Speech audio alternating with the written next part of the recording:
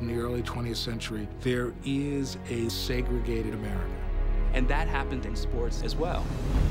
Even if you were a star athlete, the rules of segregation were still enforced. It had to be awful, knowing that you were better than everyone and not allowed to play.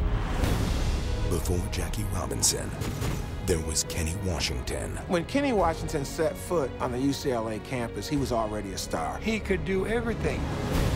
Marion Motley. He was just a man among boys. The guy like that coming through the line it scares you.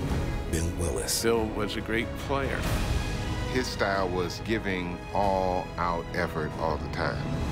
And Woody Strode. He had the reputation of being the perfect physical specimen. His development as an athlete was just natural. These four men were celebrated on the fields on Saturday. But they were not drafted in the NFL because the league was segregated.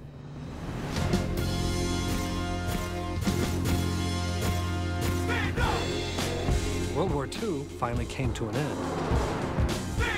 The country was ready for changes on a lot of different levels. He ruled the world. Everybody knew him. My father was at the right place at the right time to be able to capitalize on that. To be the first one, you take the brunt of everything. My dad said he put me in the butcher shop. It's funny when the movement makes the mainstream, but still don't do a bruise a dream. Produce a new level of youth unseen. He looks at me, he says, it's hell to be black.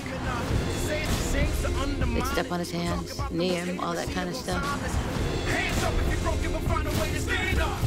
These men integrating football a year before Jackie Robinson is crucially important.